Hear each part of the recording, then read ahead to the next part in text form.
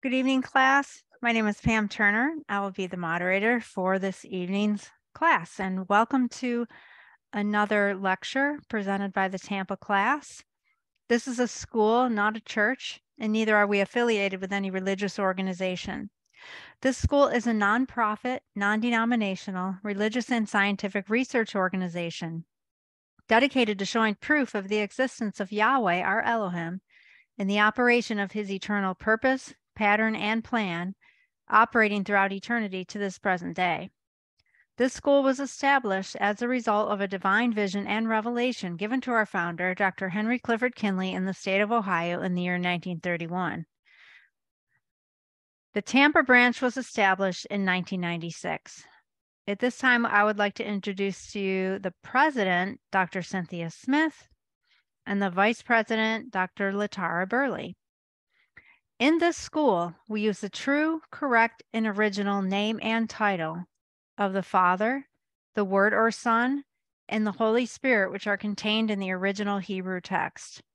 The true name of our Heavenly Father is Yahweh. It has been improperly substituted by Lord. The true title of the Word or Son is Elohim. It has been improperly substituted by God. The name of the Holy Spirit manifested in or out of a physical body is Yahshua. It has been erroneously substituted by Jesus Christ. Lord and God are titles, not names. The Apostle Paul, filled with the Holy Spirit, tells us in 1 Corinthians 8 and 5 that there are Lord's many and God's many. But we now know that each Lord must have a name and each God must have a name also. Elohim is a title, but unlike Lord and God, Elohim is a divine title. That means Elohim is the title our Creator chose for himself. Jesus is a name, but it is an erroneous name. A minor investigation on your part in a good dictionary or encyclopedia would prove that neither the Hebrew, Greek, nor Latin languages have any characters or letters in their alphabet that would produce the sound that is made by this letter J. Neither was there a J in our own English language until some 1400 years after the Messiah's death therefore making such names as Jesus and Jehovah impossible renderings of the true and original name of our Father and his Son. Christ is a title, just like Lord and God. Yahweh is pure spirit, and in this state, he is incomprehensible and inscrutable. He is the ultimate source, substance, limits, and bounds of everything. We have Yahweh in his pure spirit state symbolized on this chart as a cloud. Yahweh is not a cloud. He merely chose a cloud to symbolize himself because a cloud has no particular or descriptive shape or form. We have drawn this cloud all around the edges of this chart to show you that everything on this chart is within the cloud. In like manner, everything in the universe abides within the pure spirit state of Yahweh. Yahweh, knowing that man could not perceive of him in his pure spirit state, took on shape and took on form right within himself is Elohim. This is the word or son, a super incorporeal being that is having the shape and form of a man, but without flesh and blood. This form could only be seen in divine visions and understood in divine revelations. Later on, the self same spirit manifested himself in a physical body and walked the earth plane as Yahshua the Messiah, whom the world calls Jesus Christ. Now there's only one name given unto salvation, and we must know that name. So the simple yet intelligent question we should ask ourselves is what was the name of the Savior during the time he walked the earth plane? A further understanding of this name and title can be had by reading the preface of the Holy Name Bible. Also in the school, we teach by the divine pattern of the universe. It is called the divine pattern because it is Yahweh's pattern. After Yahweh led the children of Israel out of Egypt, he called Moses atop Mount Sinai and he showed him the tabernacle pattern in a vision. Yahweh instructed Moses to build one exactly like it in the wilderness of Sinai. The pattern consists of a most holy place, a holy place, and a court roundabout. These three compartments make up the one tabernacle pattern.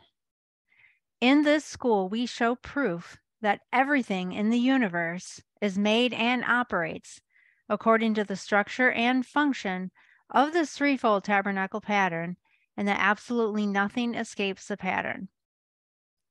The 10 primary constitutional aims and objectives of the Institute are as follows. First is to help you find and know Yahweh, our Elohim, as he really is and actually exists. Second is to form a nucleus of universal brotherhood of humanity in Yahshua the Messiah without distinction of race or nationality, creed, sex, caste, or color. Third is to investigate the unexplained spirit law, or so called law of nature, and the powers latent in man.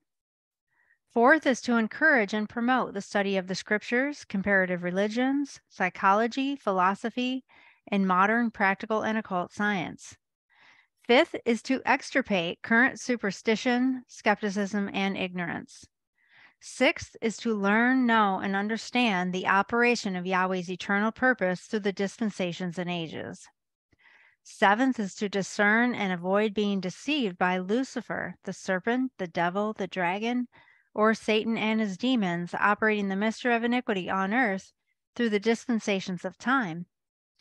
Eighth is to earnestly contend for the common salvation and faith which was once delivered unto the sons or children of Yahweh. Ninth is to make known that Yahweh from the beginning ordained there is no other name given among men whereby man can be saved, saving the name of Yahshua the Messiah. And tenth is to inherit eternal life now in the kingdom of Yahshua the Messiah with the hope of immortal glorification in the new earth state. Our watchword is peace, and our slogan is speak the truth. This evening, we'll have class dedicated in prayer by Dr. Jennifer Marshall.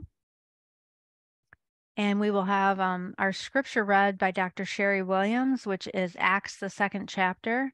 And our readers this evening are Dr. Sherry Williams and Dr. Carol Miller.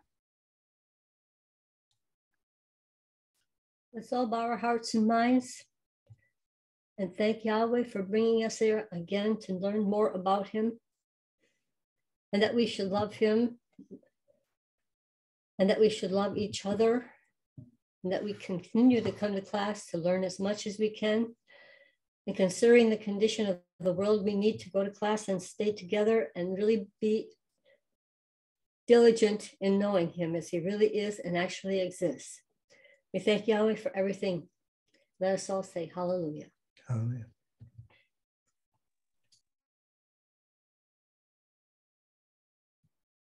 Hallelujah.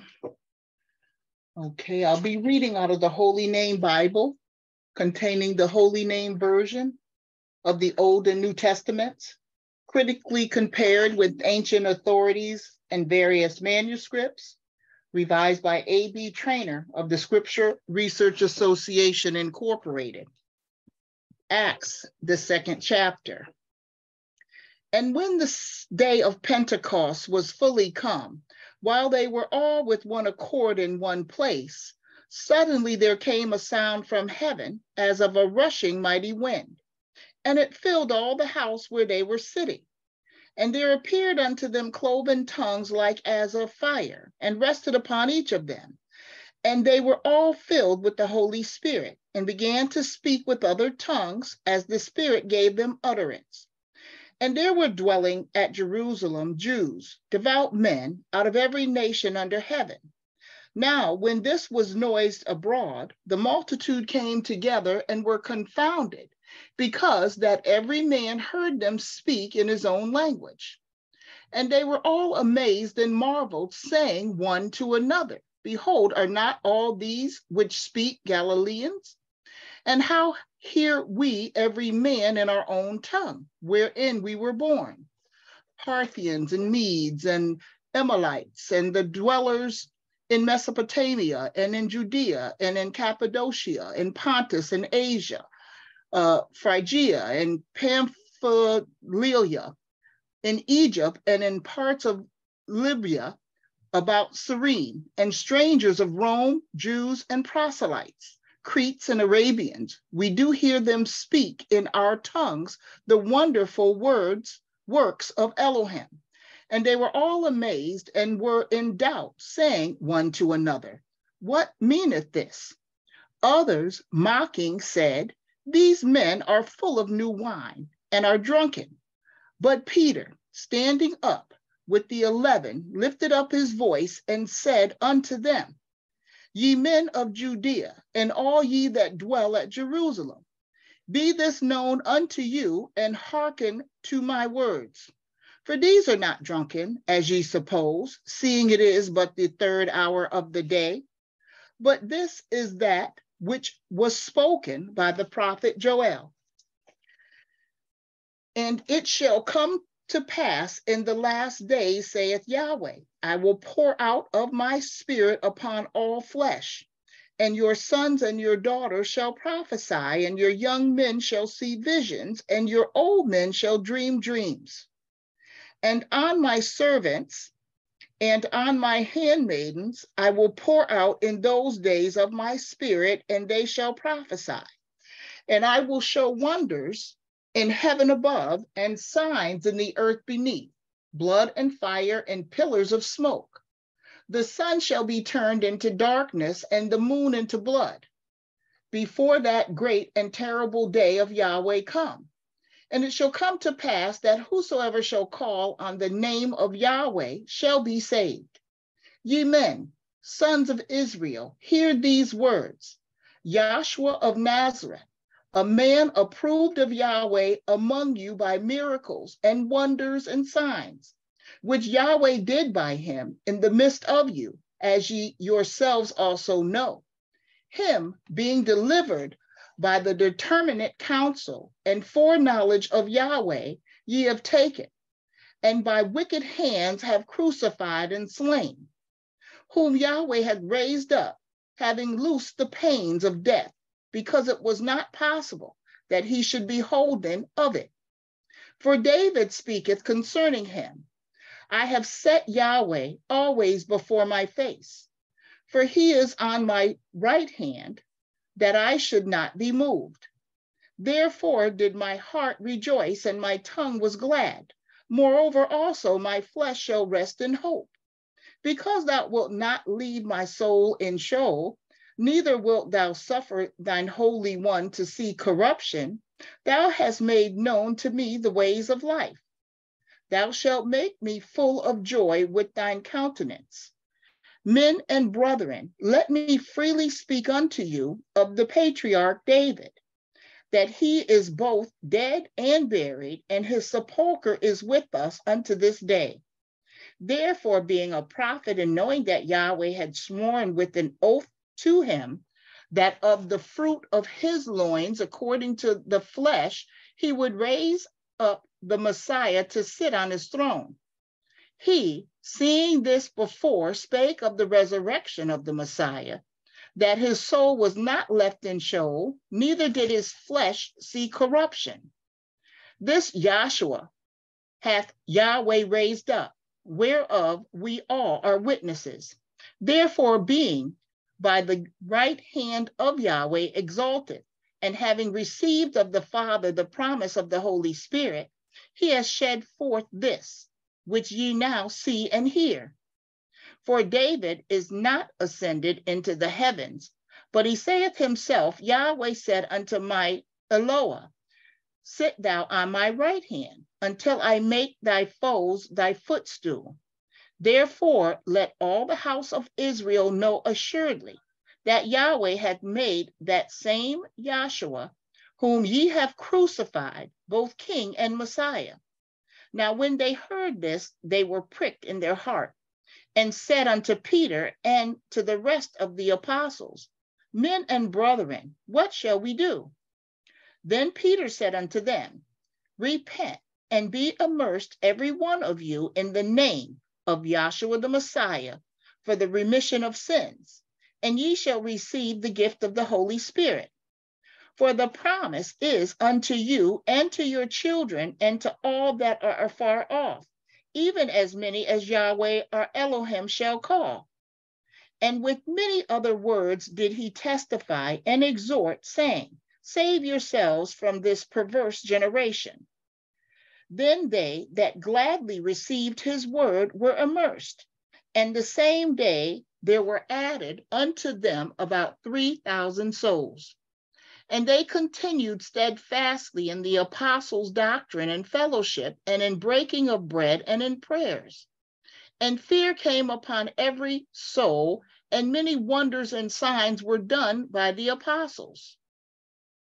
And all that believed were together and had all things common, and sold their possessions and goods, and parted them to all men as every man had need.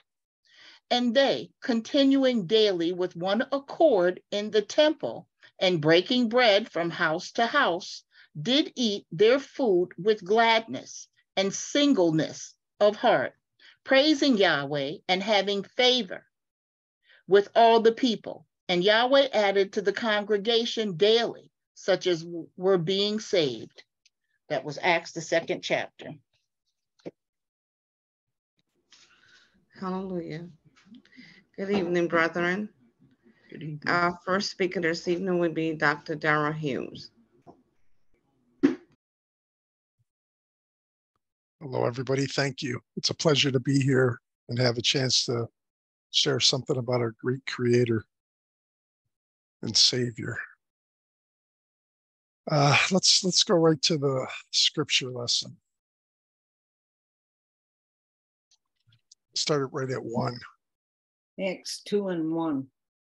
And when the day of Pentecost was fully come, they were all with one accord in one place.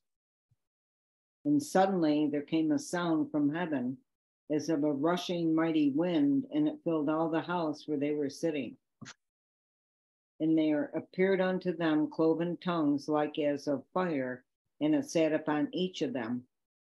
And they were all filled with the Holy Spirit and began to speak with other tongues as the Spirit gave them utterance. This is this is this is our first account of Pentecost, uh, where the Holy Spirit is poured out, and uh, the world talks about the Holy Spirit, and they could read the Scripture and they know that there was this Pentecost, but they don't really understand it, um, and they don't understand it well, they don't understand it at all. Uh, they don't understand what the Holy Spirit is. They talk about a Trinity uh, when it's really a unity. Give me John 1 and 1. John 1 and 1. Oops. Go ahead. In the beginning was the Word, and the Word was with Yahweh, and the Word was Yahweh. The now same it's- it says in the beginning was the Word, and the Word was with Yahweh, and the Word was Yahweh.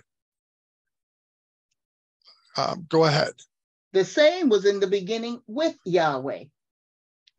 All things were made by him, and without him was not anything made that was made. In him was life, and the life was the light of men. And the light shine Jump down to the um, 14. it, yeah. 14. And the word was made flesh and dwelt among us. See, the world has a trinity. They talk about three persons, basically, um, like they were three separate entities. See, but it, but it says right in John one, one that in the beginning was the Word, and the Word was with Yahweh, and the Word was Yahweh. See, it says He was Yahweh, and that the Word was made flesh. Right in that scripture, it's telling you that they're all one.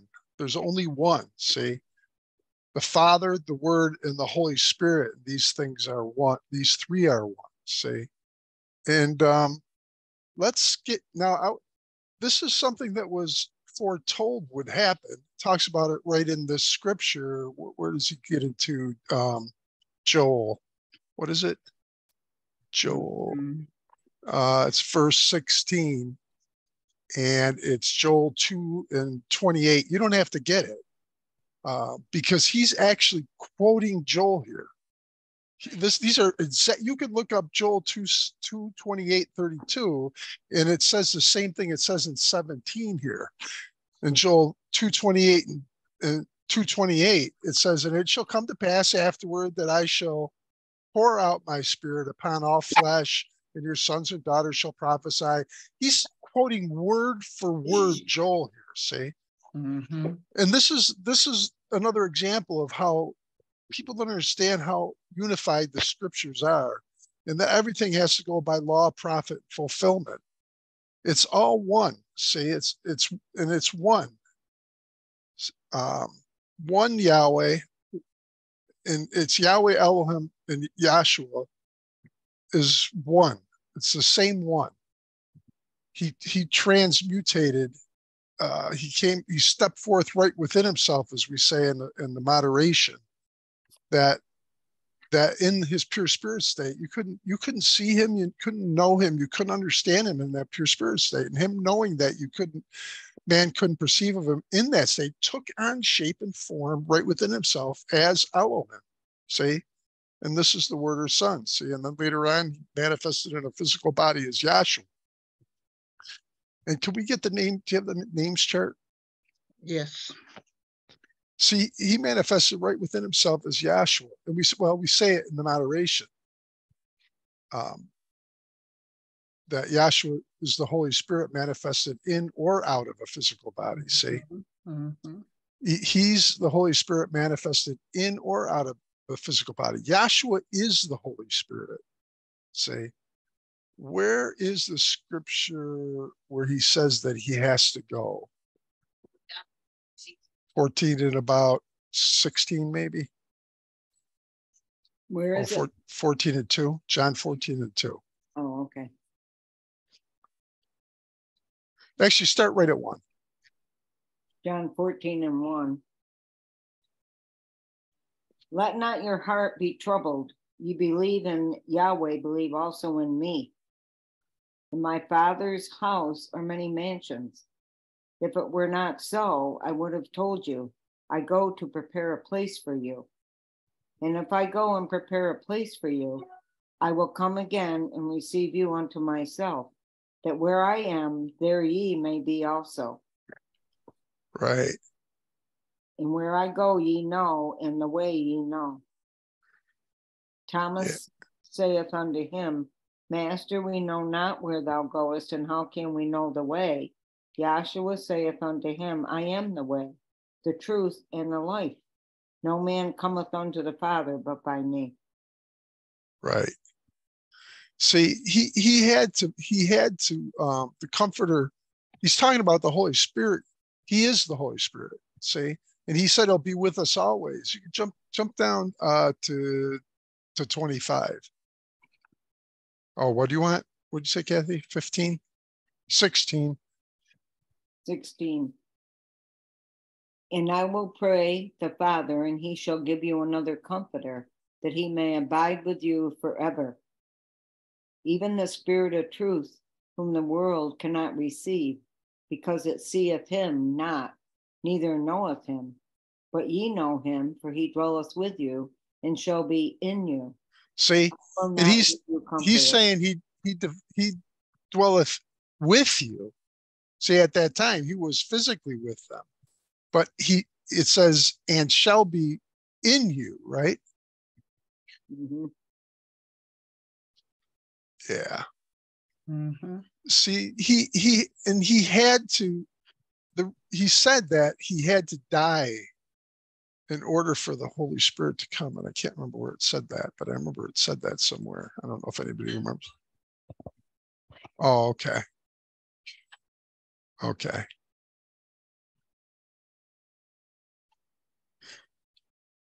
Right. So, and he talked about, he kept talking about the Holy Spirit's going to come, um, that he'll be there. Uh, go to uh, John 7 and like 37. John 7 and 37. In the last day, that great day of the feast, Yahshua stood and cried, saying, If any man thirst, let him come unto me and drink. He that believeth on me, as the scripture has said, out of his belly shall flow rivers of living water. Keep going. But this spake he of the Spirit, which they that believe on him should receive, for the Holy Spirit was not yet given, because that Yahshua was not yet glorified. That's right. See, the Holy Spirit was not yet given because Yahshua had not been glorified. And and I think it's important. I've heard people say that um, everybody has the Holy Spirit, but they just don't know it. But that's not what the book says. The book says that it says right here, um, but but this spake he of the Spirit, which they that believe on him should receive, for the Holy Spirit was not yet given, because that Yahshua was not yet glorified. See, Yahshua had to have his death, burial, and resurrection happen before the Holy Spirit could be poured out. See, um, and the Holy Spirit is Yahshua. we, we say they're the same thing, see. The, it is Yahshua, the Holy Spirit. Um, I, I, think I want to uh, uh, let's get let's go back to the scripture lesson, and I want to want to uh, let's see. Um, let's start at about where did we leave off? Actually, you could jump down past it. Jump down to uh start at third go jump down to 12 for me. And they were all amazed and were in doubt, saying one to another, What meaneth this? Others mocking said, These men are full of new wine. See, they're laughing and mocking some people that were observing this, saying that basically that they were drunk. Um, they've drunk wine because of the way that the things that they were saying. Now, it could be that you we could look at it that because you know they all spoke different languages and they were understanding each other, but also if you think about it, the way that people um, perceive what we teach, people think we're crazy. You could say that they almost think that we might be drunk or crazy because this is so different than everything else that's being taught what we teach people. Mm-hmm. um, we teach people that um, I, it's, it's people truly think that you can't come to know Yahshua the way he really is and actually exists. Uh, people think that that uh, it's impossible to know him um, except by blind faith. See, and people and pe- if you teach outside of tradition, I've heard people say that if you don't, I don't know, I've heard some people say that there's people that define cults as not believing in what, what is it? There's a couple things that has to do with Christianity, basically. The Trinity, the resurrection of a physical body, and there's another one it's it and people and there's a somebody that defines a cult as that which basically puts everything as a cult if it's not christianity and what christianity teaches and christianity is wrong but they're so steeped in it the name the trinity and all of these principles that that to them anybody who says anything else is crazy which is basically what a, what, what people think of in terms of a cult um, and uh, the Holy Spirit is a powerful thing. And so when they quoted Joel, and I'm not going to read all those, but they talked about prophecies and and doing all of these wonders. And then after they talked about that, towards the end of the scripture, it talks about all of the great things that people did um, in the name of Yahshua with the Holy Spirit. See, we have to have the Holy Spirit in us, and you could get that. Uh, you can find that all over, all over. Um, that you need to have the Holy Spirit. Um, and and uh, they talk about the immersion in here. Um, and people and the church likes to think every time they hear immersion, immersion uh, that it's talking about water. But um, get me uh, get me uh, Luke three and sixteen. Luke three and sixteen.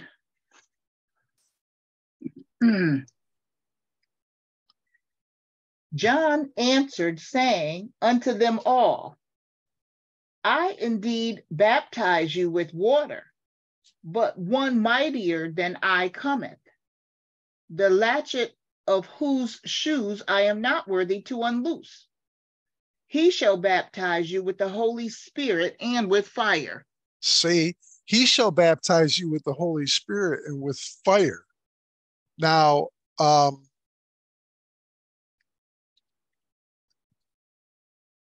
oh, I just had a thought and I lost it. But he shall baptize you with the Holy Spirit. It's not with water. We need to be baptized with the Holy Spirit. Um, and oh, I know. I was thinking somebody brought up in a class we're in the other day that Yahshua never baptized anybody, and they talked about the. Um, they were talking about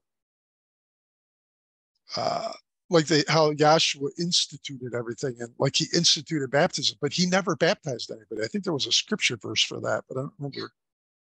I don't remember who was teaching that. Was that Sarah that brought that up? that Yahshua never baptized anybody. See, he didn't even baptize anybody with water. I'll say it that way. Let me add those words. Uh, because when you're being baptized with the Holy Spirit, that's who you're, that that is who you're being baptized with. Um,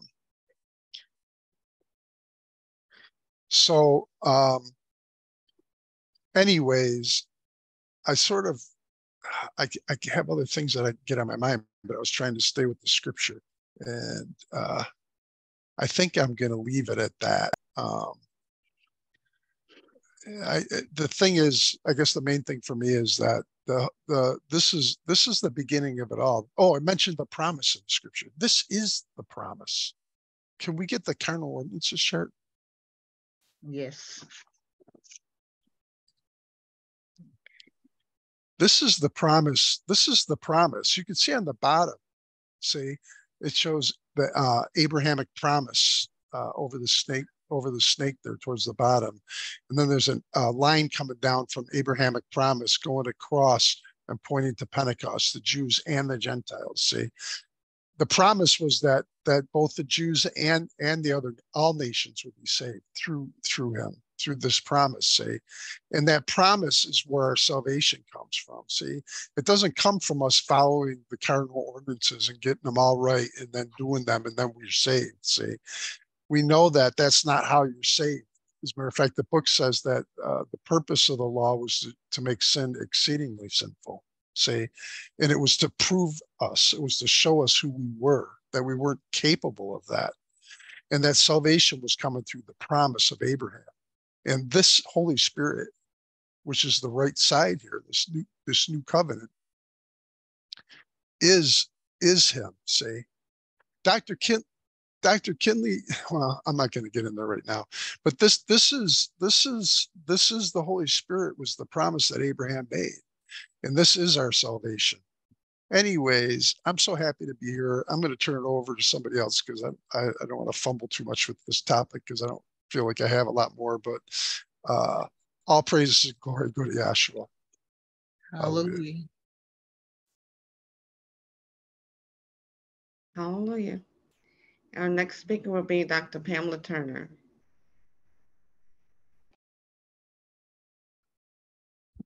Good evening, class.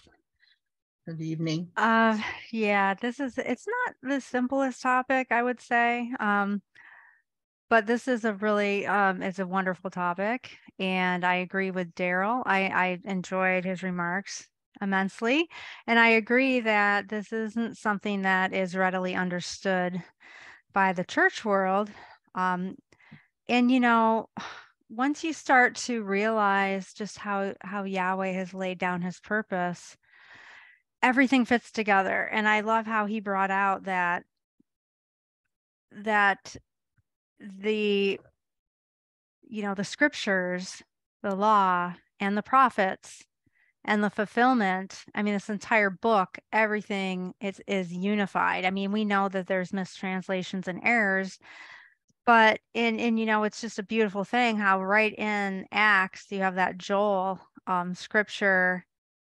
It's just it's mind-blowing really when you start reading and throughout the what's referred to as the new testament how so many times you have um, the Messiah himself referring to the scriptures, and you have various, um, you know, you have the disciples, or not the disciples, but I wanted to say the apostles referring to the scriptures, and you know, Stephen, his whole um, lecture that he runs down, you know, before he gets stoned. And, you know, he's right in the book the whole time. And it seems, just seems like Christianity has completely missed this. And, you know, um, I was brought up in the Catholic Church and they would read out of what they would call the Gospels. And they would, it was it, the whole, the whole thing would consist of repetition of prayers, repetition of physical standing up, sitting down, doing the things with your hands, getting the wafer, getting the holy water, and then just this kind of methodical reading out of just this one section of the Bible. And then the priest would get up there and then he would talk about something that was kind of, uh, I guess, supposed to be inspirational. but it never nothing ever came across as actually trying to teach you something because what they really wanted to do is they wanted to keep you in darkness because they wanted to as soon as you start having an education then you know then you're going to start questioning and then their livelihood is at stake and them receiving money is at stake. So anytime somebody is receiving income from what's being preached um they just they just want to keep the people subdued basically is what they wanted to do. And um some some churches will use um they'll just use um smooth words and just you know kind of like self-help type of language and make you feel good about jesus and then some like the catholic church pretty much uses guilt so um but this thing with Pentecost, I'll just add a couple things and then I'll leave it for the next uh, speaker. I can't get too deep into this, but um, I'll just make a few points about some a couple things that I do know. And um, if you go go back to that covenant chart, and um, covenant. The carnal ordinance. Or the carnal ordinances. I'm sorry. Yes. okay, that's okay. Mm-hmm. Yeah. So you see on the right hand side, um, there's you see the heart, and then there's a little itty bitty um, below uh, to the left hand side. You see that woman, and she's in the sun, and then she has the moon under her feet, and that you know so we we know that that woman starting way back when um, Yahweh he referred to the assembly as his bride you know he said that that, that he was a husband unto them.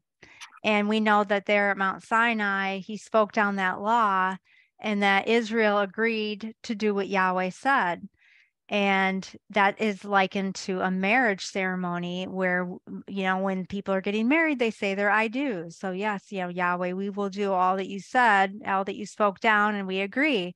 So there's several examples of that where we have an example of of his his people as um, feminine and we also refer to us just you know even now in the reality just spiritually feminine that Yahshua is our our husband we are the bride. And so in in this pentecost that um, that we're reading here in the scripture reading that daryl got into a bit it's and, and he talked about how this is the promise.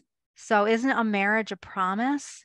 And so ultimately this is the reality and this is the state that we want to be in. We want to be in Yahshua. We are that bride and we want to be clothed in him. And that's likened to, you know, an immersion or a burial. Um, we're clothed in the in the sun. Um, and it shows her symbolically, you know, as a, a woman there, and then you have the the physical S-U-N, which we know is figurative of Yahshua, the S-O-N. And if you go over to where it's the uh, the Moses chart, and on the Moses chart, there's a section that so eh, over on the right hand side where it, it says Pentecost. And if you zoom in on that, and that's that there's that woman clothed in the sun again there and the moon is under her feet and that moon genders to those that um, old covenant the carnal ordinances and so those are no longer in effect and so this pentecost this is the bringing forth of that reality that promise because we're no longer in bondage and we're no longer um, in this state of in condition of condemnation. Um, Cynthia always loves to get that. There is therefore now no condemnation, and that it's Romans the eighth chapter. Um, we don't have to get it though right now, but um, I want to see where I want to go as of, as far as scriptures. Um, let's go to. Um, I also like how it's talking about. Um, it's talking about that there are that there's cloven tongues of fire. So let's go over to where it talks about and I'm not sure where this is. If somebody could help me, that would be awesome. Where it talks about the um, being baptized. I think it's when um, being talked about how um, he that will come after me will baptize with fire. We just got that in John, wasn't it? Did we just get that? Mm-hmm. Yeah, Oh, so we already did get that. Okay, I'm so but sorry. it's okay. I mean, So Everyone- what was that? if you wanted it to get it again, No, that's okay. Um, so well, another thing about the fire is that, or not the fire, but it talks about the cloven tongues, and that's likened to, um, you know, we were just talking about how how the scriptures are everything is pointing to the reality. And so the reason why the, the tongues were cloven is that that's that means two. That's like a cloven hoof. And everything the law and the prophets, there's two. There's those two witnesses, and that's pointing to uh, that spiritual reality. So since we already got that, I don't know where my brain went during that. Um, let's see. Okay, let's get where Yahshua talks about um oh gosh, I'm so bad with the scriptures. How we um we are in Yahshua, um, he's in us and we're in him.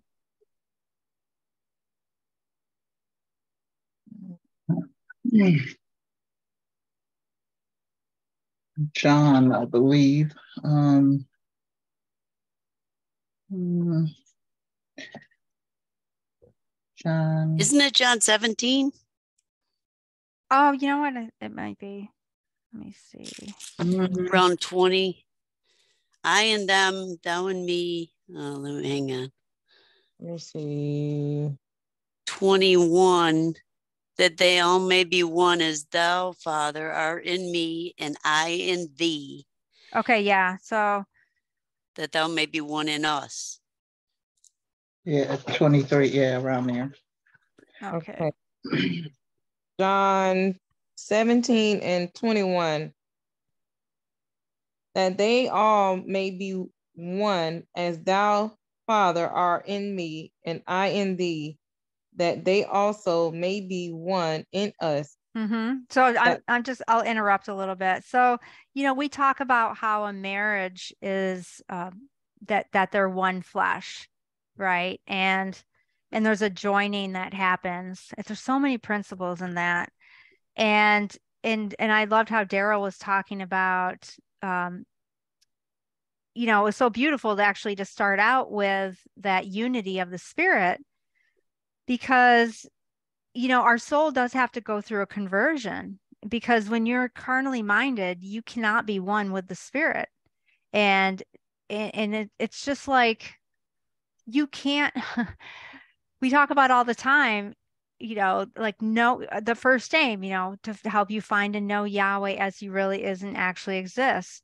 And it's that it's that intimacy, it's that knowing we talk about to um, eternal life is to know and in a marriage, when you become one and you know each other intimately, and this is kind of, these are all, we have to learn from these spiritual or these physical uh, manifestations to understand that uh, that spiritual principle. So keep, keep going here.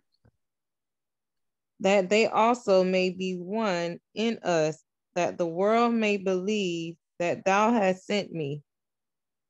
And the glory which thou gavest me, I have given them, that they may be one, even as we are one. Mm-hmm. I in them, and thou in me, that they may be made perfect in one, and that the world may know that thou hast sent me and hast loved them as thou hast loved me. Mm-hmm. Father, I w- Father, I will that they also, whom thou hast given me, be with me where I am, that they may behold my glory, which thou hast given me, for thou lovest me before the foundation of the world. And Right. Yep. I found a verse that that says exactly what you said. Okay.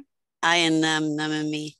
Um, it's John 14 and oh, just had it.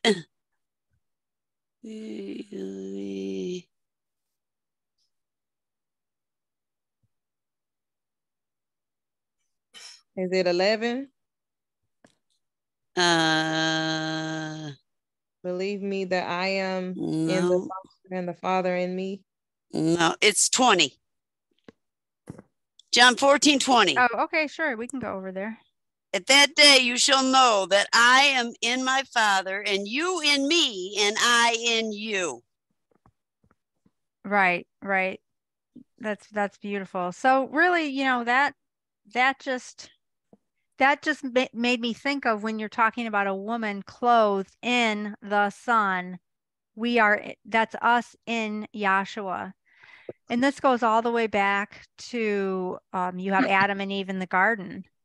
And we know that that woman was in the man to begin with, and that she was brought out of the man. And and the the culmination of everything is that that woman has to be put back in the man. And we see as a type that Adam, he as a type of Yahshua, willingly died for his bride. And it's it's just so beautiful, you know, when you see that type that he willingly died for his bride, and that to me shows that that husband and that bride scenario. I'm trying to think of what else. I think I don't really know if I have all that much more. Um, I know that was really short, but I really appreciate the opportunity to have something to say about Yahshua. So I don't want to kind of just spin my wheels. So I'm going to go ahead and let someone else have a shot. Thank you for the time. Hallelujah. Hallelujah. Our next speaker will be the Vice President of the Tampa class, Dr. Latower Burley. Okay. Well, good evening. And um, I evening. definitely enjoyed the remarks of both speakers. And um, try to see if I can um, a little bit of light and pick up where they left off. Um, it's definitely an honor and a pleasure to have anything to say about our Heavenly Father Yahweh. And um, it is definitely important that we get together, like the prayer um, was mentioned, and that we learn something about our Father and um, you know us us learning these things is is what we are coming together for, you know, and and it's the brethren, it's the you know communing, it is you know us learning from each other through you know the Holy Spirit and letting Yahshua just guide us, you know, so that we can be um, illuminated in our understanding. Now, I wanted to pick up um, in John, where um, actually we can start even here. It talks about um, just being, you know, baptized in that name and how, um, you know, they were talking about a lot of people don't know what that is. And, um, you know, Pam just talking about that spiritual reality, she went over that, how um, in that covenant chart, you see that woman um, being clothed in the sun. And that's that's the spiritual reality of baptism. You know, there there is a, a physical manifestation, and we can all the way go back, you know, in the law, how um, you know, the children of Israel they were baptized in principle through, um, you know, the divided waters of the Red Sea, and how, um, you know, previous people mentioned that Yahshua, you know, never baptized, and that uh, John did, but he, it was a, you know, principle, and it was a shadow of, you know, things that was going to come, and you know, we are that woman, we are that bride, and baptism, you know, back there was setting it up you know, that woman because Israel was that bride, like, you know, Pam had uh, mentioned. And so see that bride being, um, you know, baptized, you know, through that water, the Red Sea, and Yahshua, who was Yahshua, led them.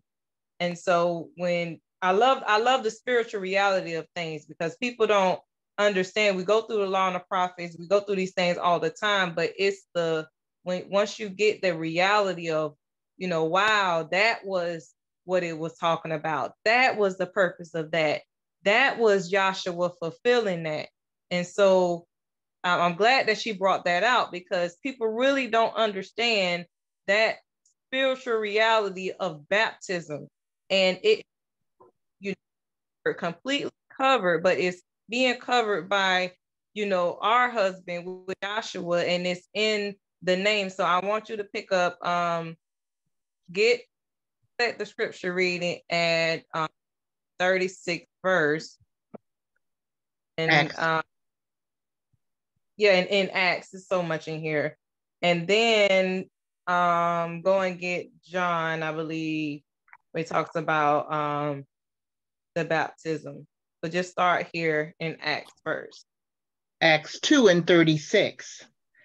Therefore, let all the house of Israel know assuredly that Yahweh hath made that same Yahshua, whom ye have crucified, both king and Messiah.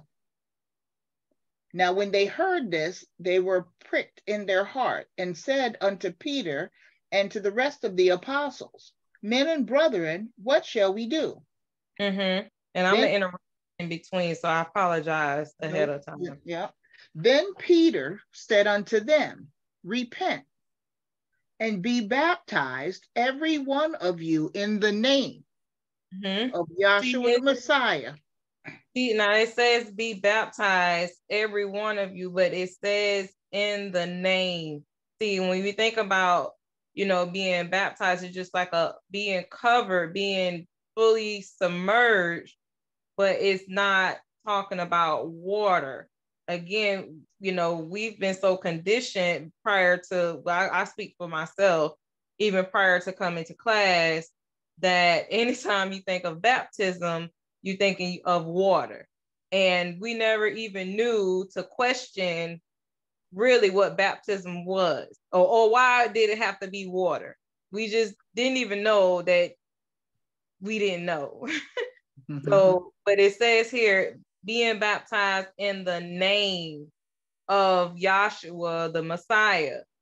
And and keep going here. Um, be okay. Then Peter said unto them, Repent and be baptized, every one of you, in the name of Yahshua the Messiah, for the remission of sins and ye shall receive the gift of the Holy Spirit. Mm-hmm. It says, So you shall receive the remission of sins, and then you shall receive the gift of the Holy Spirit. And keep going there because I don't want to jump ahead. For the promise is unto you and to your children and to all that are afar off, even as many as Yahweh, our Elohim, shall call. So this is like for generations to come. So this is this is not like this, Yahshua is really he fulfilled and you know he promised you know that once he raised up off that cross and he poured out his Holy Spirit, it was that gift of eternal life, and it was to everyone who the Father has given him, everyone that believeth on the name. Um, keep going. Mm-hmm. And with many other words did he testify and exhort, saying, Save yourselves from this untoward word, untoward word generation. Then they that gladly received his word were baptized. And the same day there were added unto them about 3,000 souls. And it was it was just that simple. They then that gladly received the word of his testimony, they, they were baptized that day. Now go and get over in John, um, the first chapter. John 1 and 26. John answered them, saying, I baptize with water, but there standeth one among you whom ye know not. Is that what you want? Yeah. He it is whose coming after me is preferred before me. Mm-hmm. So, so now he's saying, John here is saying that he baptized, but he says with water. Mm-hmm. See, and then the other scripture read that he's going to baptize. Well, is it here? 20, 30, yeah, 38. Yeah, yeah, but I'm just keep reading here. And John. Mm-hmm. Okay, 27. He it is whose coming after me is preferred before me. Okay, let me go to 26. John answered them, saying, I baptize with water, but there standeth one among you whom ye know not. Hmm? He it is whose coming after me is preferred before me. Mm-hmm. So he came before him, but he's coming after him. And, and there's so much. Mm-hmm. We're talking about Yahweh being pure spirit way in the beginning, before time ever was see, he planned all this out, his will, you know, and it talks about in the beginning here in the scripture lesson how that word Yahweh manifested himself in a physical body. Then also when he manifested himself, he walked this earth plane. He set up everything. He stepped into that body. He was stepping in and out of bodies, you know, all throughout the law and the prophets, but it wasn't permanent. That perfect, perfectly made body that was set up for the creator because it had to be perfect because you're talking about the creator of the universe stepping inside of a physical body no spot no blemish as yahshua the messiah setting up baptism back there with the children of israel then having john here saying that okay john you're going to baptize with water. Why? Because it was physical. It was it, it, he, he he is setting up something. So John had to um, be the one to immerse those uh, Jews when they came to him and asked them, well, he when he asked them, have they sinned? And they said yes. And so John is going to baptize them. But now he's saying now he read that part um mm-hmm. here, who is preferred is preferred before me. Uh 27, John 1 and 27. He mm-hmm. it is who's coming after me is preferred before me. Right. Read. Whose shoes latchet I am not worthy to unloose. Mm-hmm. And these, so, I'm sorry, I keep going. These things were done in Bethabara, Bethabara, beyond Jordan, where John was baptizing. Mm-hmm. The next day, John seeth Yahshua coming unto him and saith, Behold the Lamb of Yahweh, which taketh away the sin of the world. This is he of whom I said, After me cometh a man, which is preferred before me, for he was before me. Okay, and I get from me that scripture when it talks about that spiritual rock. Uh, I believe it That's is Romans, I believe, the 10th chapter. First Corinthians 10 4. First, okay. Thank you. Yeah, First Corinthians 10 and 4. First Corinthians 10 and 4. And did all drink the same spiritual drink, for they drank of that spiritual rock that that, that led them, and that rock was the Messiah. I think you got to pick it up. Um, yeah, one.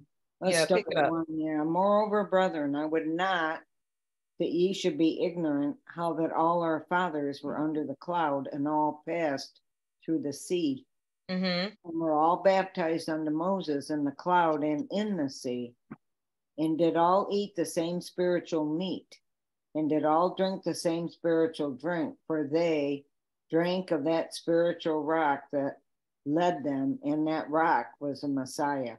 Right. So it says you so they were baptized again back there because people like, you know, where was baptism back there in the law? But it's it was a um spiritual principle that they were baptized unto Moses again, but, but remember Moses couldn't lead them over into that promised land.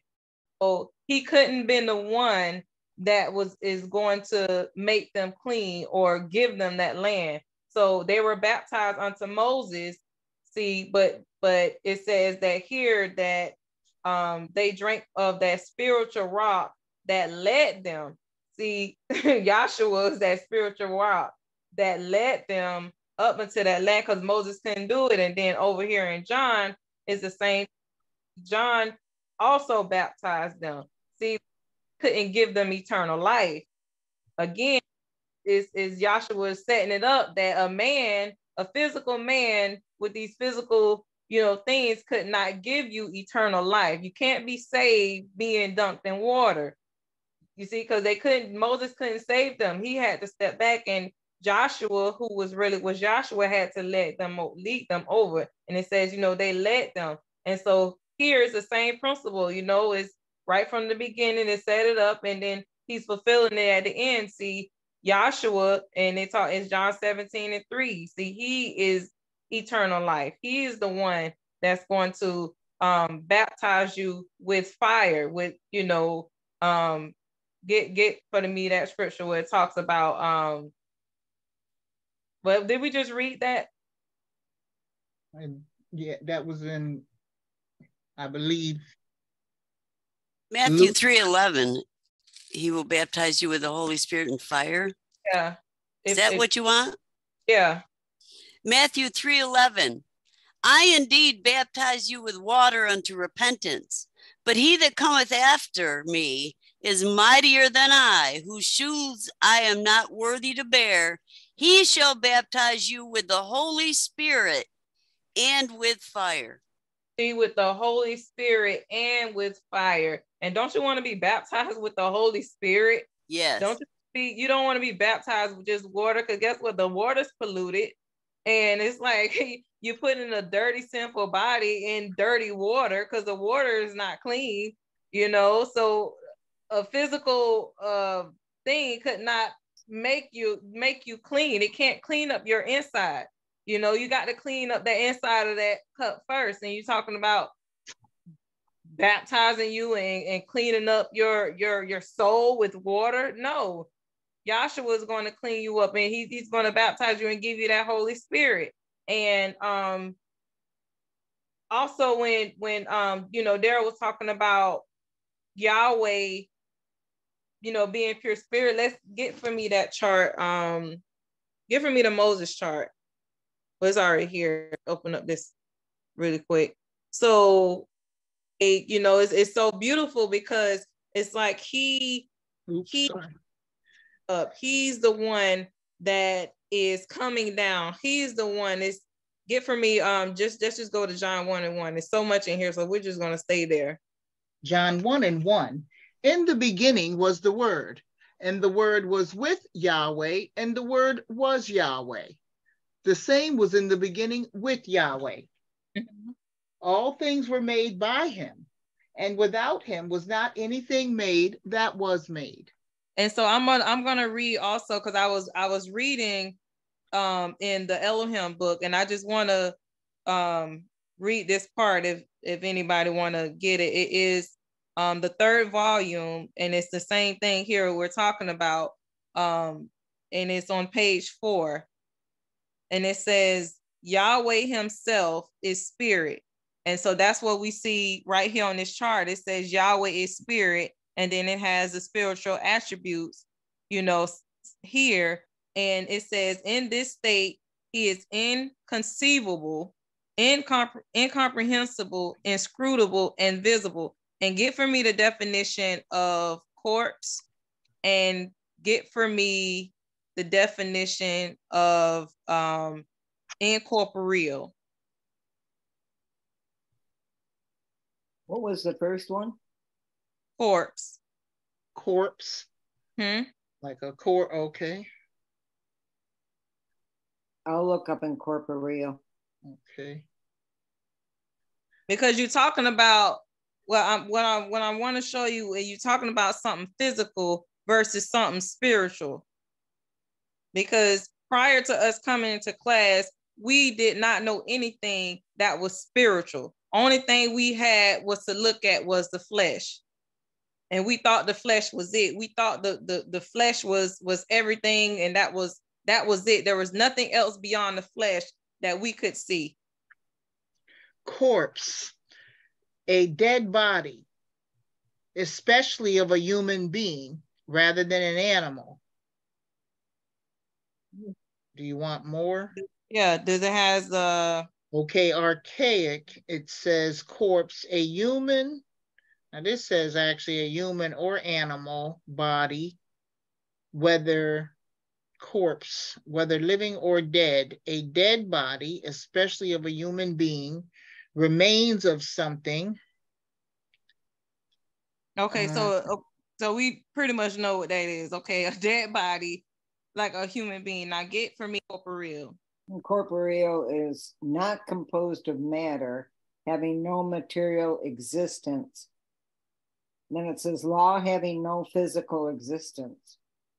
Right. Not having, not having no physical existence. Right. Is there is there anything else there? No. Not on uh, Okay. what I'm looking at.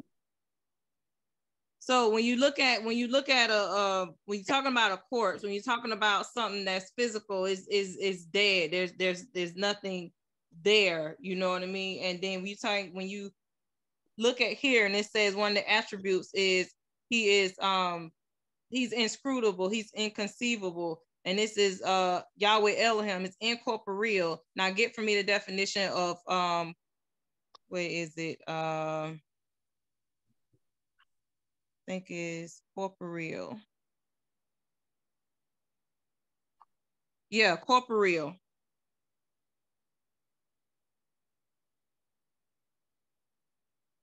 body. corporeal, having, consisting of, or relating to a physical material body, such as not spiritual.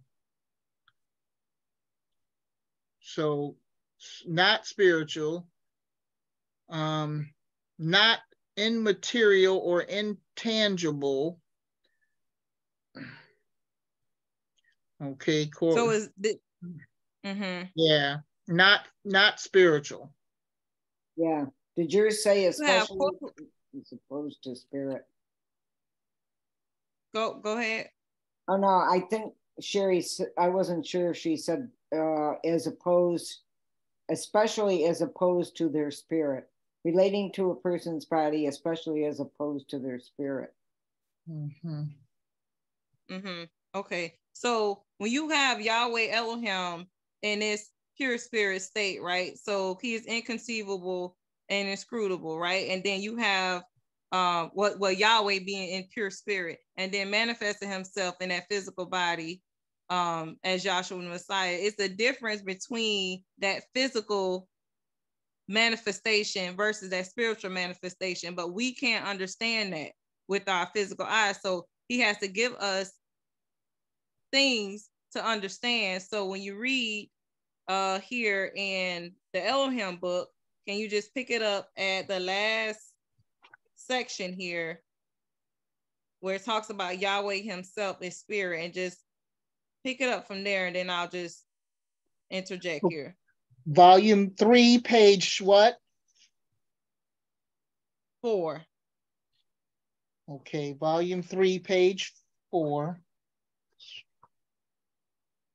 All right. At the bottom of the page, you're saying? Hmm.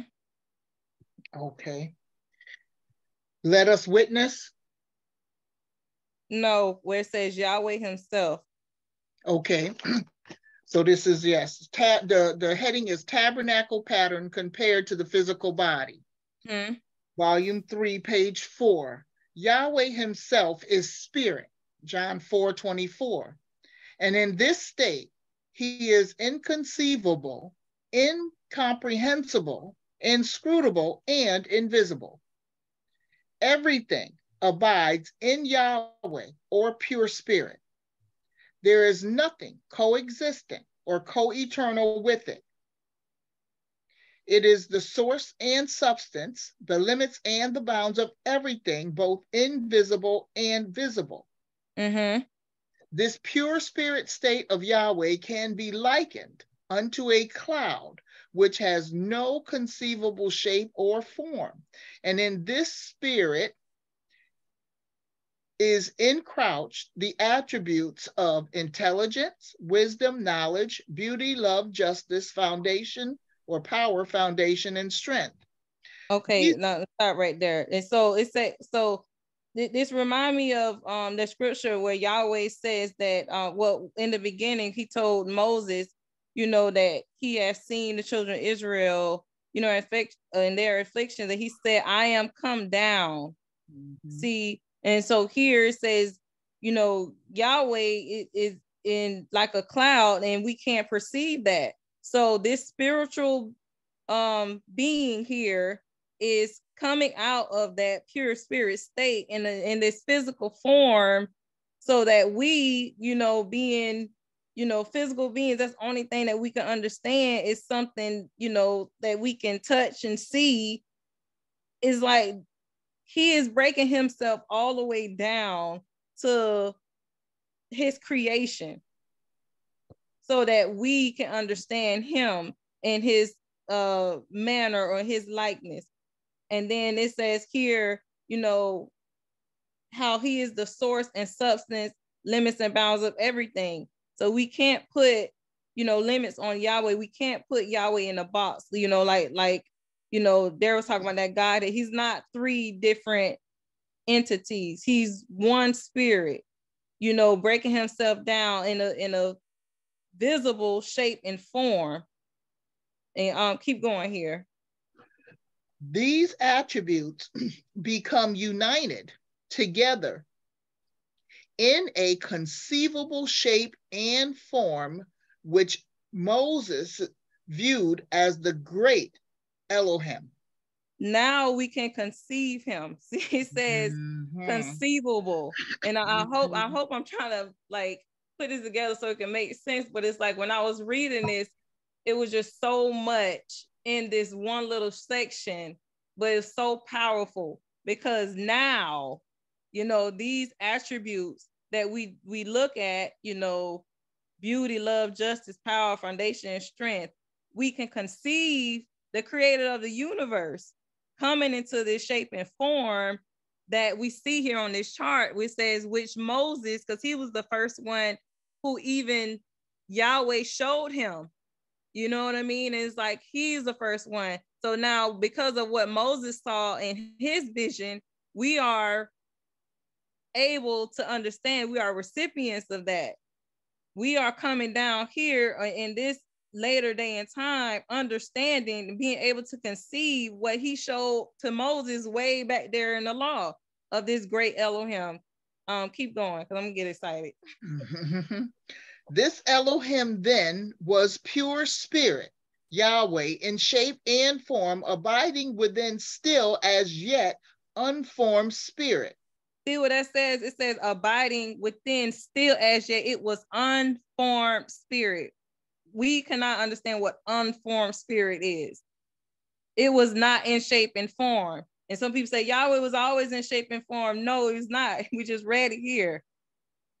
He Mhm. had to come into shape and form. And that's even, you know, talking about breaking himself down in that lamb slain from the foundation of the world. That's that is that is like until uh um you know it, it, it had to be like breaking that pure spirit down. You know, you, you're talking about a, a Adam or you know, it didn't take all of Yahweh to create his creation. It's just like, you know, us when we have children. It doesn't take all of us to create our children. So it's not going to take all of Yahweh to create his creation. But keep going. It did not take all of the pure spirit to form the super incorporeal form of Elohim.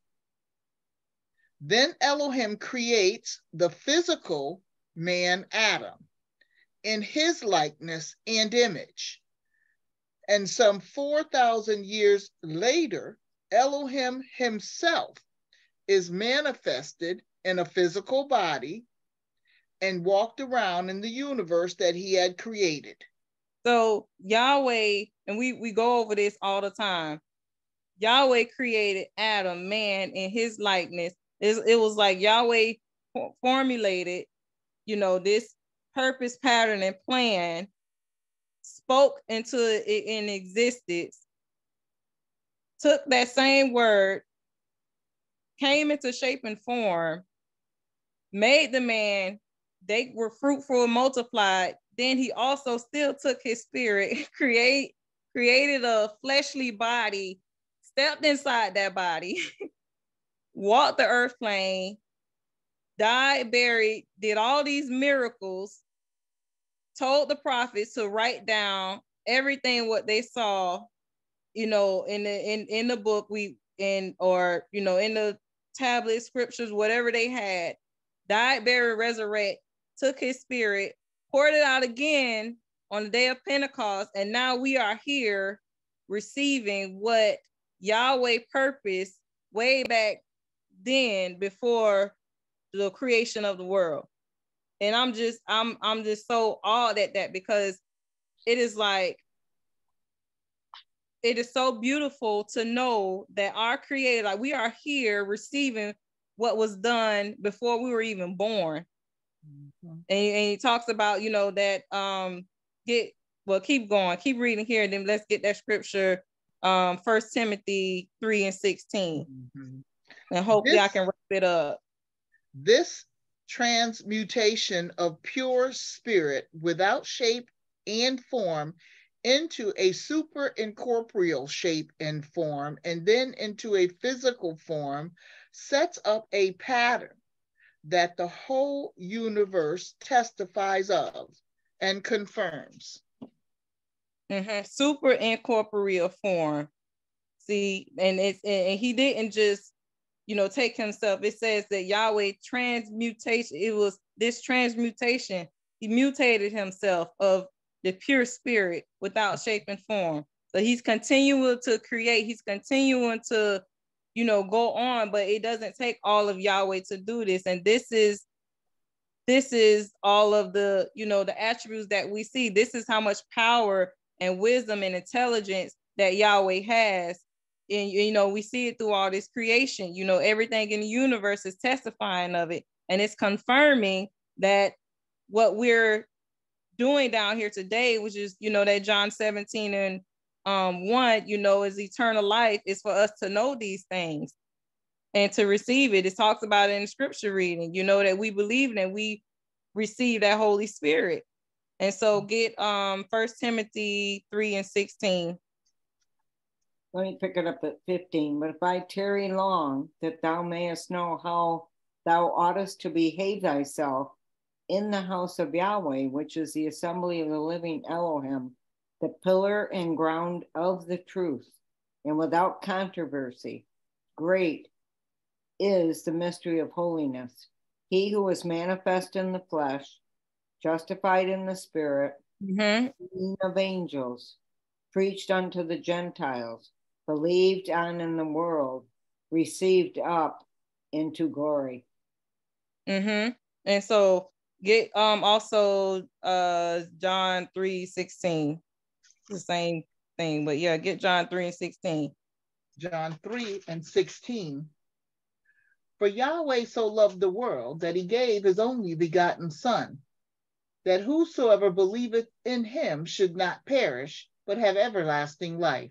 So it's Yahweh says that he gave his only begotten son, but it's really Yahweh himself mm-hmm. Is Yahweh, yeah, is, is Yahshua. These three are one. It's him himself because his only begotten son is Yahshua, but the name is Yahweh is salvation. Yahweh gave himself for the whole world. Yahweh gave himself up to us, you know, and broke that that body down, you know, so that we can be down here receiving, being recipients and receiving that Holy Spirit. So I just thought that it was um, you know, beautiful because um, you know, Daryl was talking about how Yahweh is pure spirit, you know, and we got, you know, in John how, you know, y'all just the baptism and you know that word was made flesh and i love going over these things over and over because it's like we we skip over a lot of these things but just going and reading and understanding what these words mean what you know inconceivable incomprehensible and inscrutable we go over in the in a moderation but do we really understand what the creator of the universe did what yahweh truly did so that we can have eternal life. And I think it'll just be a greater appreciation for this teaching and for this class if we can just comprehend that. So um and it's so much more. I know other people can probably go into much more detail, you know, about this thing, but I'm just, you know, very grateful that I can understand a little bit about this and um you know have a lot of appreciation for this class. So um I'll yield the floor and thank you and uh, all praises and honor and glory goes to Yahweh through Yahshua. Hallelujah. Hallelujah. Our next speaker will be Dr. Charles Marshall.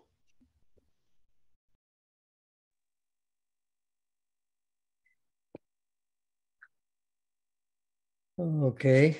Uh, it's been a very good class so far, really. People bringing out a lot of very good things. Uh, I don't know what I can add too much, but uh, we'll give it a stab anyhow. Uh, as we know, uh, coming down to these lectures and, and attending these classes, that everything that Yahshua does and everything that happened was uh, fulfillment. When he was walking the Palestinian hills, he was fulfilling scripture. And it's just like uh, Daryl pointed out that part of this scripture here comes right from Joel. So it's it's you know, and it's all showing forth. But yet here we take it for granted, and we just you know we we you know because we're it's just so much a part of us. It's just so ingrained in us that everything before he came, he was was being instituted or set up. And then he came in and he and he fulfilled what was written about him. And that's the reason why we know he was the messiah. Now on the day of pentecost i'm not sherry i'm not going to have you read all those names again. Okay. because because oh my gosh. But look at all the the countries that was listed there mm-hmm. of people that were listening uh, to the holy spirit or being you know talking to by from by the Holy Spirit in those men, in those disciples, and they were speaking. They were uh, speaking in tongues, if you will, because everyone could understand them. Now, this is like in fulfillment of the Tower of Babel, because of the Tower of Babel, he confused the tongues because uh, man's thoughts and and everything and his whole thing, uh, well, Nimrod showing forth a mystery of iniquity was, if you will, back in that time, back in, in Babylon, was actually inst- uh, setting up or instituting himself. He was instituting the religions that you see in the world today. And what Yahweh did is he confused their tongues, but they went about with with in different languages and uh, and the gods that were set up back there were carried over into all these lands. So Yahweh confused those languages so that they could not understand. But at the day of Pentecost, he opened up our understanding. He's opened up our, you know, uh, knowledge of him. And so it's it's uh it's just it's it's great. It's fantastic because we can see that and we can understand that. But yet a lot of times when it's pointed out to people in the world they just can't understand it. See their tongue is still confused. It takes the holy spirit to interpret tongues. It's just like when i was a child and i would go with my grandmother to the apostolic pentecostal church they would get up and they would speak what, what they claimed and what they said was speaking in tongues. And it, it was nothing but garbly gook is all it was, you know, and then somebody would say something, well, it means this or it means that or whatever. Yes, they didn't have any understanding. But Yahweh, you see, on the day of Pentecost, he's been speaking to the world and he was speaking to us before we came into class. And then when we come into class, we understand that language. He has given us the Holy Spirit. It's the same with us. Now we understand, you know, and what Yahweh is doing is he's speaking Yahweh tongue, if you will. You see, Yahshua tongue. And we understand that tongue because we are his children, we are his offspring. So it's just so fantastic to see and hear that. Also, what he's doing. There's fulfillment of being of, of Yahweh back at Mount Sinai. See, speaking in the law to the children of Israel. He brought them up to the, he brought them. He said that when he was going to, I, you can get it if you can find it, if you know where it's at, where he said that he, he brought them, uh, he brought them out to worship him at the Mount. He brought them out of Egypt. Uh, out of the slavery, out of the bondage. And it's the same thing he's doing with us is that he's bringing us out of Egypt or he's bringing us out of darkness. Now, on the bottom of the chart there, you see that black, and that black represents Egypt as in darkness or ignorance. They did not know Yahweh. You see, they had never heard that name Yahweh before. They knew that their forefathers had worshiped this God, if you will, you see, by the name of El Shaddai, but they had never heard this name Yahweh, nor did they really know anything about him.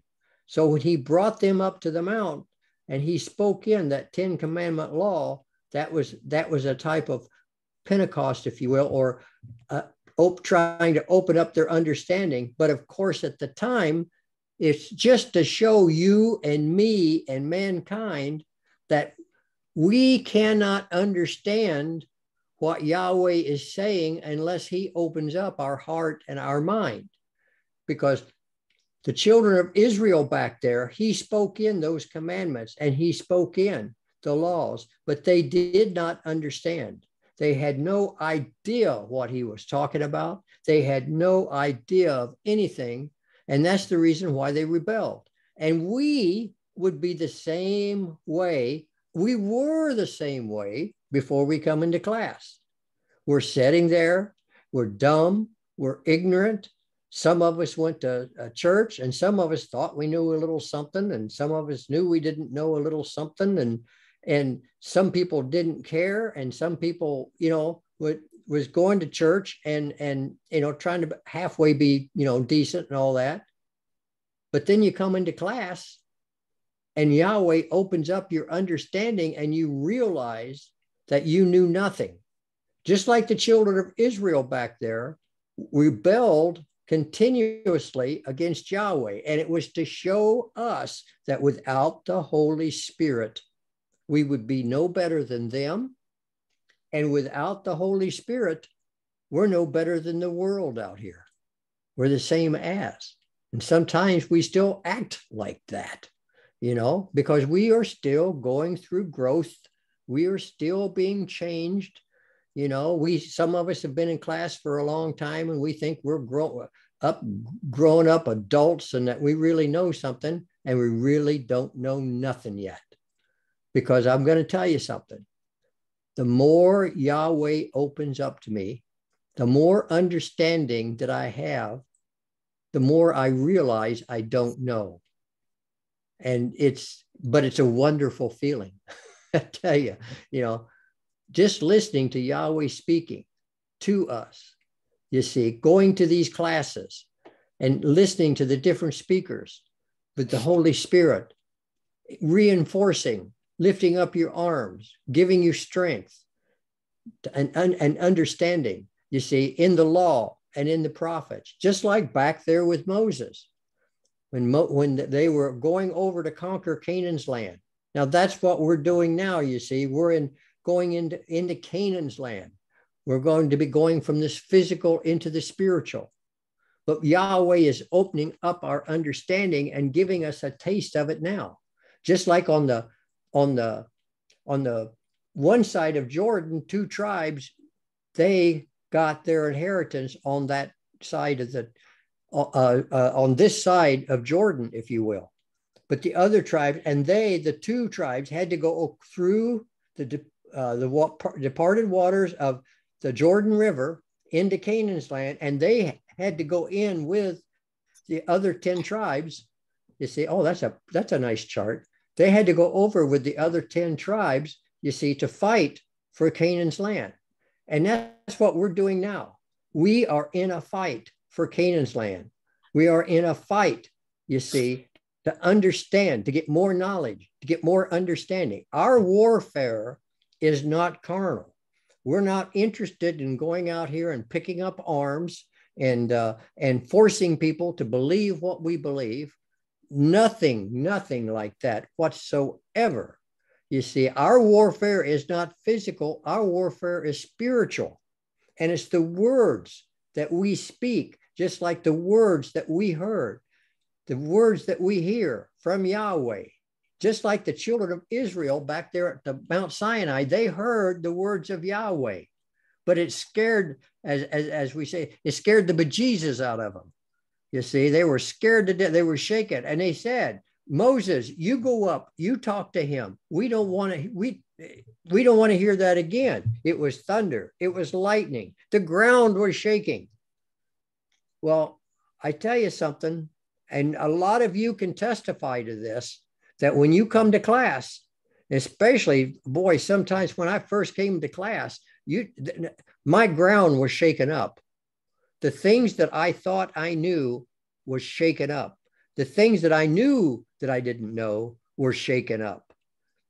It was thunder, it was lightning, and the ground and my ground was shaking. You see, and but Yahweh opened up our eyes. But what unlike the children of Israel, See, we didn't have fear. We accepted it. We believed it. We, Yahweh put his spirit in us. He gave us the words, then he gave us the understanding, he gave us the ears to hear. And he didn't do that to the children of Israel back there. So we look at the children of Israel, uh, uh, the history of the children of Israel, and we see that they were disobedient continuously. That's because he did not give them the Holy Spirit. But today, after Pentecost, what is talking about here in, in uh, the ch- second chapter, you see, them uh, getting that, that revelation, getting that understanding. And the people thought they were drunk. The people thought that they were just, just, yeah, they thought they were drunk because they were jumping up, probably jumping up and down, and you know, and just and walking around with a big old happy grin on their face, and just it, it, it is exciting when you hear this gospel, and it raises your consciousness. You see, it's exciting, and sometimes you know people might think we're drunk. I know people think we're crazy as a loon, you see, they we they, they think we're in an we, they think we're in a cult, and some people even think we're in a occult. And they think that when we go around and we talk about this Yahweh, you know, oh, that's just the, the, them people are crazy. So it the things haven't really changed a whole lot. Things hasn't really, you know, uh, uh, it's still the same process going on. It's just that we're in a different age. And now Yahweh is readily pouring out his spirit. Whereas before, you see, back at Mount Sinai, he didn't. So there's a lot of fulfillment going on here. There's a lot of things going on. I hope I added a couple of things. And uh, I'm going to leave time for another speaker because uh, it's it's good to hear everyone and it's good to hear the things that people get out of this because this is the reason why we come to class you see is to know and to understand yahweh and to add to the things that we know about him so that we can better glorify him and by better glorifying him by being a good Yahshuan and being a good Yahshuan to each other and being a good Yahshuan to ourselves. And with that, I'll uh, turn the floor over and thank you for the privilege uh, and the honor to speak something about Yahweh and his plan and purpose. Hallelujah. Our next speaker will be Dr. Kathy Hughes. Wow. Um, it's an honor to have anything to say about Yahshua and his great Yahweh through Yahshua and his great purpose, pattern, and plan. I have thoroughly enjoyed all the speakers. It's just been loaded. This the class has been loaded with things. Um, I can just add a few things to it and carry on the baton. I'd like to go to um, Acts, the 18th chapter, and this is kind of dealing with us, just like it was at the beginning of this age. We're down here at the end of this age and we're preaching the same gospel that Yahweh Elohim gave to Dr. Kinley to give to the world. We're preaching the gospel that the apostles preached, law prophets that Yahshua preached to fulfill. And if you could read that, Acts 18 start at, let me see, go there real fast. Acts 1824. Acts You know- 18. Before you read that, I just want to make a point that before we came to this school, we were spiritually dead. To be carnally minded is death, but to be spiritually minded is life and peace. And the carnal mind can never please Yahweh like it was already brought out, we can't know Yahweh with a carnal mind. We can't truly have a revelation of the Creator with a carnal mind. We must receive the Holy Spirit to see spiritual things. And the Creator prepares us throughout our whole lives. And then when we come to class, He's preparing us and He's preaching the gospel to us and cle- cleansing us by His Spirit. He actually gives us the Holy Spirit and He cleans us from the inside out. And that causes us to be resurrected in His image and to speak the same tongue. That was a nice point. You know, the Creator speaks in a heavenly tongue, it's He's speaking in spiritual realities. And if you have a carnal mind, you can't understand anything about Him.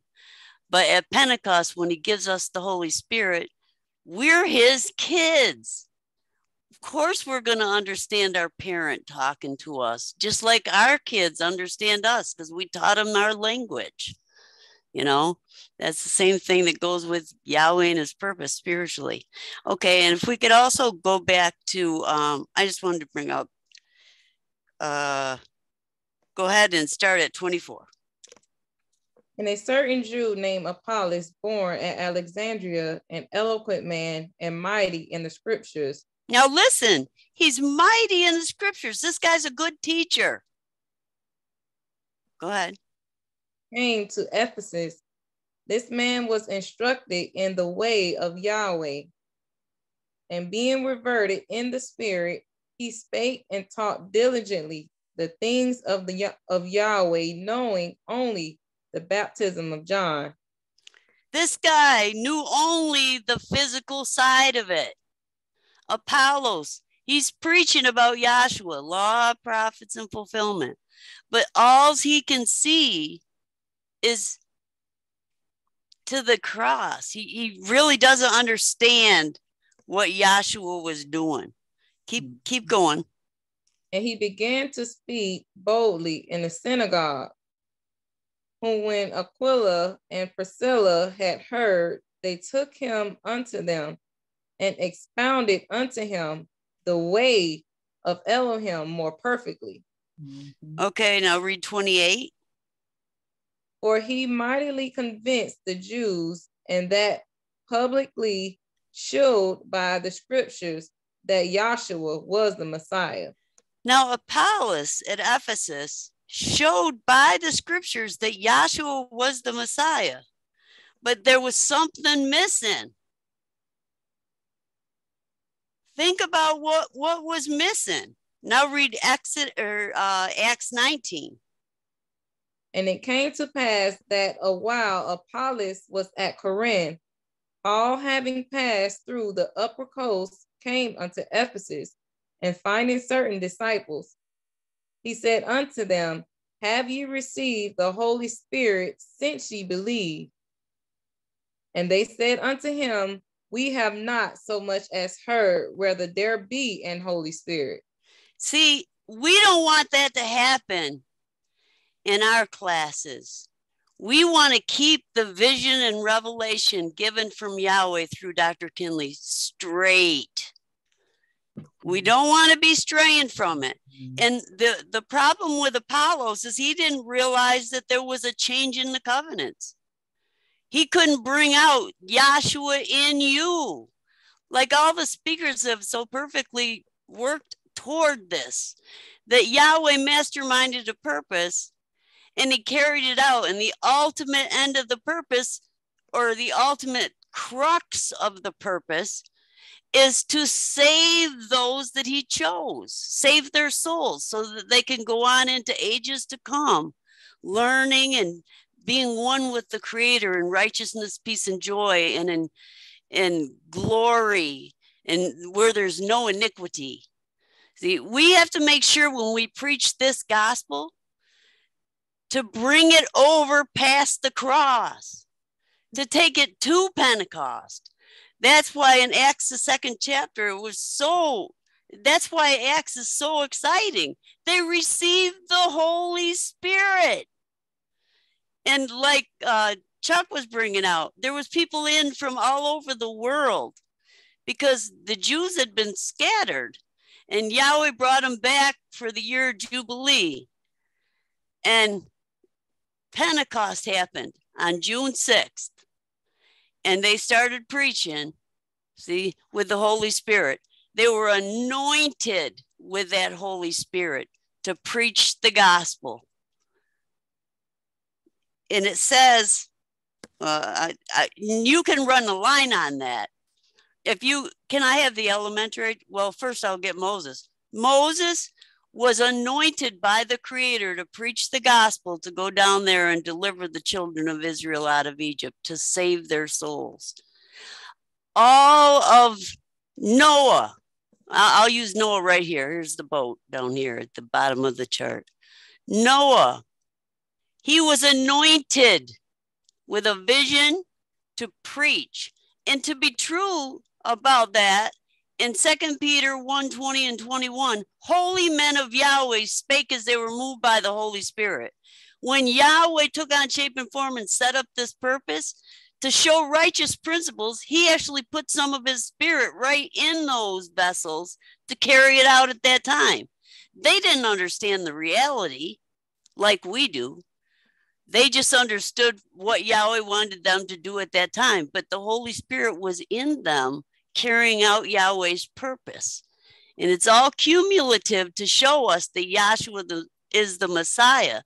By the law, the prophets, by that pattern, see Yahshua fulfill and take the whole creation and see that there's a creator and a savior. But it's not good enough to take it just there. We can't leave him on the cross.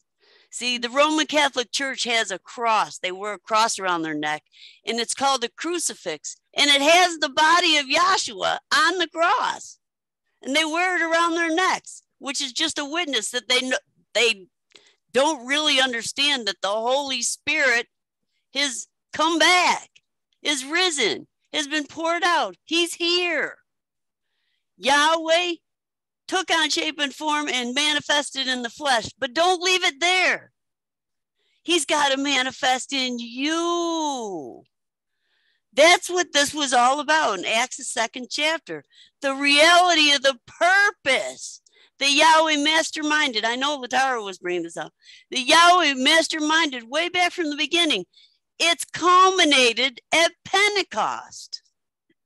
See, there's 4,000 years of death and darkness from Adam all the way on down to Yahshua because Adam and Eve sinned in the garden because Satan deceived Eve and Adam loved his bride enough to die for her. And and you just okay. Did you? I'm sorry. That that's okay. Um You want elementary? um Moses. Yeah, no, I'll I'll just take it right here. I'll take it right here. There's eh, from the transgression Adam dies for his bride and they both get kicked out of the garden. See, that's a death and they're buried in Satan's kingdom now and they resurrect. But that's not what I want to show you right here and now. I want to show you that anybody that Yahshua sends to preach, he anoints them to preach the gospel. Noah was anointed to preach the gospel. That Holy Spirit had to get in him and move him. Second Peter 121, they were moved with the Holy Spirit. See, Moses, he had to have the Holy Spirit to go down. He had to be anointed with the Spirit to go down and preach. Now, could I have the body tabernacle? Mhm. Okay. The priest here, the priesthood had to have a sacrifice offered for him and have blood put on his right ear, his right thumb, and his right toe. He had to be washed, or there, there's a principle of a sacrifice, a death. And that priest had to be washed before he entered into his high priest ministry. But after he was washed, he had to be anointed to minister. See, that's what resurrected him up. He had to be anointed to minister. And if you go back to the Moses chart, I'll show you Israel is like a son of Yahweh.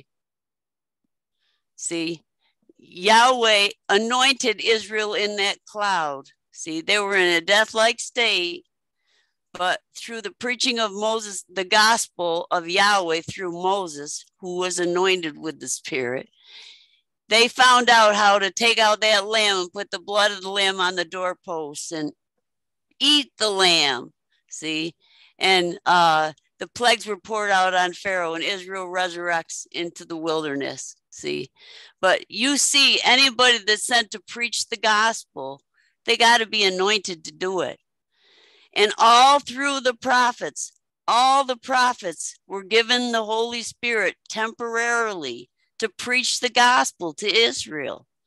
And Yahshua the Messiah, he's the word made flesh. That's the Holy Spirit. That is Yahweh Elohim, made flesh.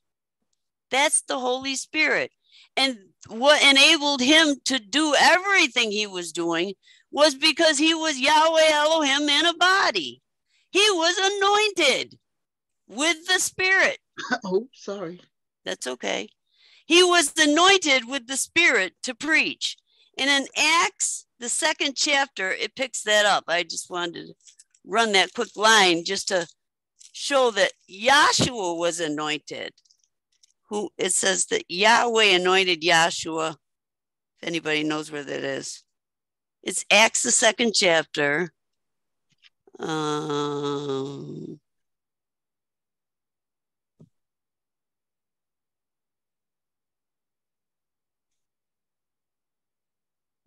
huh. I can't find it. Is it 22? 22, maybe? Yes. He was approved, a man approved of Yahweh? Oh, no, no. It mm. says that Yahweh anointed Yahshua. I can't find it. I'm sorry. I'll look it up and give it to you next week, okay? Yahweh anointed Yahshua, and that's how he is able to preach his own gospel.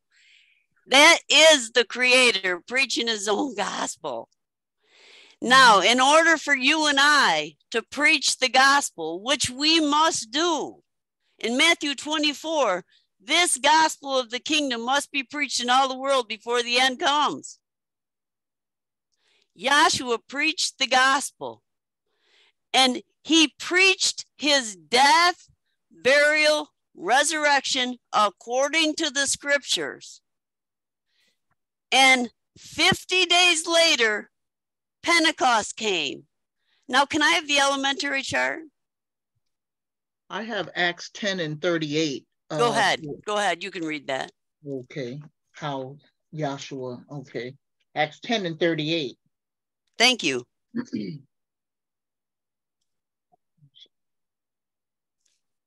Yahweh okay, anointed uh, Yes. Um, Just get right the to it. okay.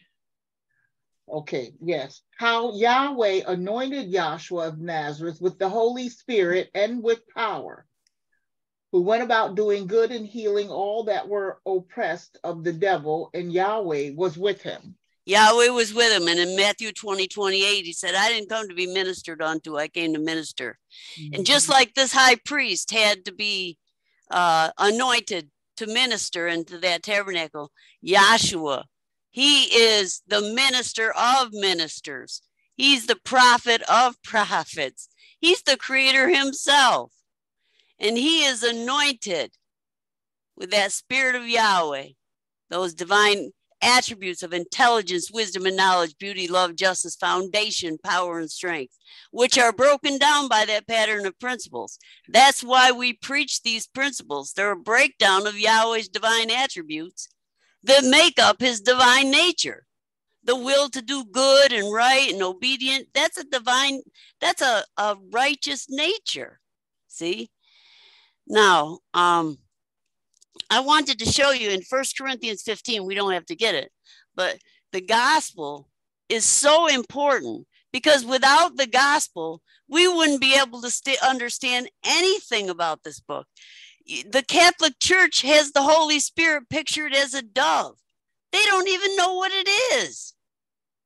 They don't know what the Holy Spirit is. We do. Mhm. There's only really one Holy Spirit. Yahweh Elohim Yahshua. He's holy. Elohim and Yahshua are two witnesses to point to Yahweh to show you what he feels, what his purpose is. Yahweh so loved the world that he gave his only begotten Son, that whosoever should believe in him, according to the witnesses that he's provided, I added that, shall not perish but have everlasting life. See? Now, we go to the gospel, we see Yahshua die, bury, and resurrect according to the scriptures. We saw it with the children of Israel in a death like state, and Moses going down there and telling them about the plagues and telling them about Yahweh came to deliver. He told them about Yahweh's name, see, and about the Passover lamb. And Israel passed through. Yahweh caused Moses to open up the Red Sea, and they passed through the tunnel of the Red Sea and resurrected into the wilderness to serve Yahweh. They were following that cloud or led up of the Spirit to serve Yahweh, like Chuck was bringing out. That's why they were resurrected. Just like the priests resurrect to serve Yahweh, just like all the prophets are resurrected. Jonah resurrected to serve Yahweh. Yahshua came in to carry out Yahweh's purpose. He's obedient to the Father. He says in John, the 14th chapter, the last verse, I do my Father's will. I love my Father and I'm obedient. It says something like that. Anyways, the gospel, the death with Adam and Eve, the burial in Satan's kingdom, and the promise of a resurrection through Yahshua the Messiah coming in through childbearing 63 generations later. Death, burial, and resurrection. You've got Noah preaching death to the world unless they hear Yahweh's vision that was given to Noah about the flood. He told them, It's going to rain. The Creator told me so. Come repent, turn from your evil ways, and turn to Yahweh and come and get in the ark. So the people, Noah was preaching death. There's a burial in the in the ark. Noah and the family got in the ark. And there's also a burial in the whole flooding of the whole world and all the people that died in it that didn't receive Yahweh's vision from Noah. See, but you have a death, burial, and a resurrection.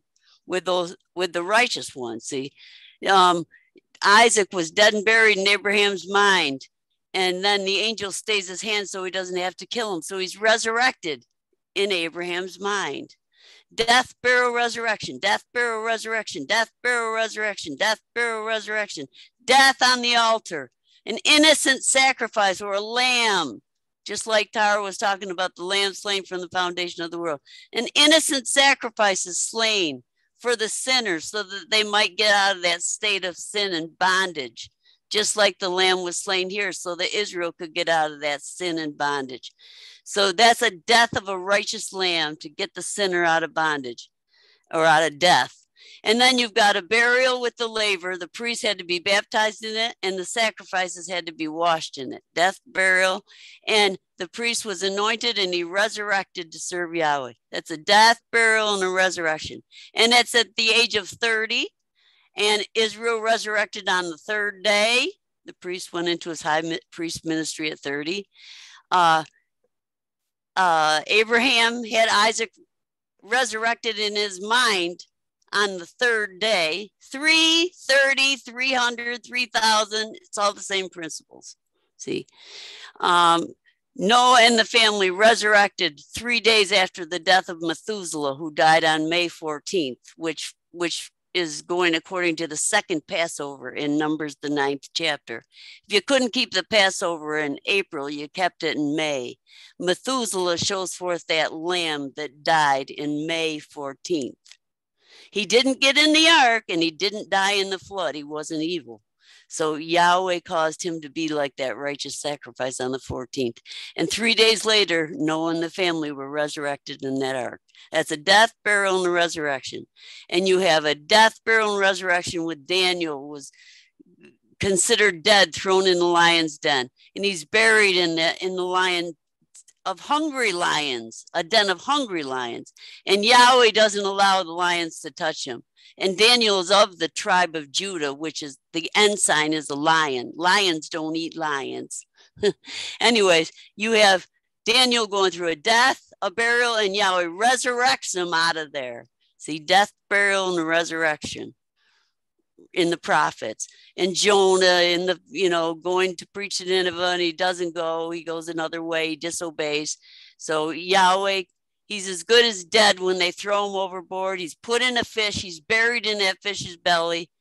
He there's he changes his mind in there, and Yahweh causes him to be spit out or resurrected on the shores of Nineveh to go preach. And you see a difference in Jonah after he gets kicked out of the fish. It's like getting the Holy Spirit. He's now got the right attitude and he goes and preaches to Nineveh, and Nineveh is saved because Noah went there. So, those are witnesses in the law and in the prophets. To, and Jonah was resurrected on the third day out of that fish.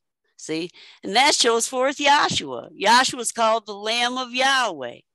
And just like they had to put the four points of blood of the Lamb on the doorpost, Yahshua has four points of blood on him. And He's called the door. The top of the door, you have the blood with the crown of thorns. You got two, uh, he's nailed with a crown of thorns on his head, nailed with his two hands, and then the two feet with one nail. The four points of blood of the lamb. And that's showing forth how the lamb died in Egypt. But I'm not done with that. Come back for me, please. Shrink it up for me, would you? I need Yahshua's baptism. Top right. Yep, I'm sorry. Just a minute here. I just messed up. I'm sorry. Just to, That's okay. it's not letting me. Okay. Okay. Top right. Top right. Okay, I gotta shrink it. Just a minute. Okay. I'm sorry. Sorry. Don't be sorry. It's okay. These it's just the devil messing with us. Okay, here's Yahshua. He hasn't died yet, but he's on the cross as a lamb. Whoops. Sorry. That's okay. Okay. He's the sentence of death is on him, just like they had to take the lamb out on the 10th and hold it over and examine him. Yahshua the Messiah was taken out of the flock of Israel when he was called the Lamb of Yahweh by John. But he wasn't offered up until almost four years later. And a day is a year with the children of Israel. Remember the 40 days that the spies went up to spy out the land and the mm-hmm. 10 spies didn't receive the true report or the 10 there were 10 false reporters and two true reporters and israel received the false report. And yahweh said you got to stay here a year for every day they were over in canaan's land. So 40 years for 40 days.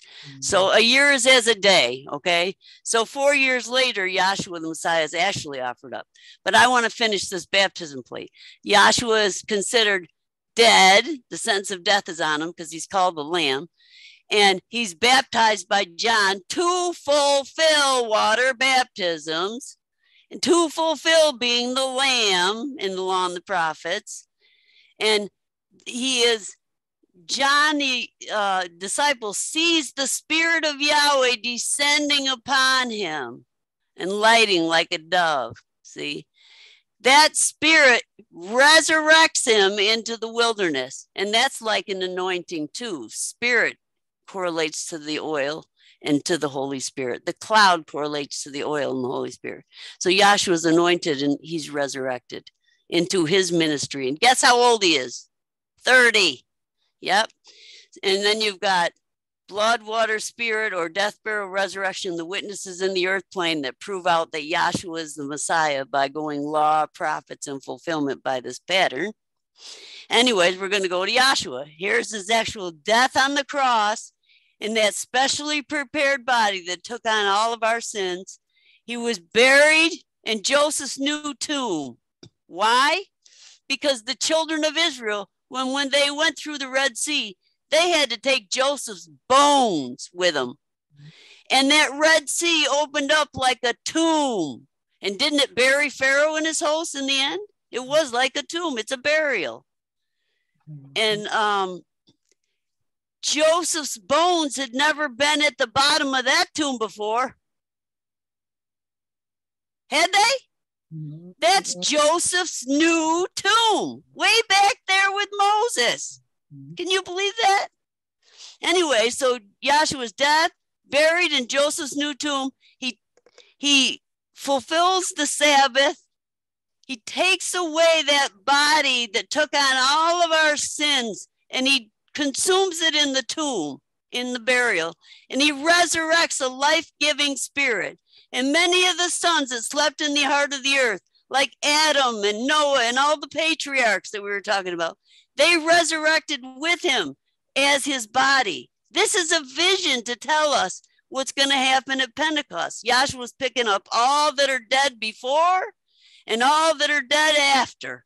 And we know there's 4,000 years of death and darkness from Adam to Yahshua, but there's there's 2,000 years of darkness and death in this earth plane.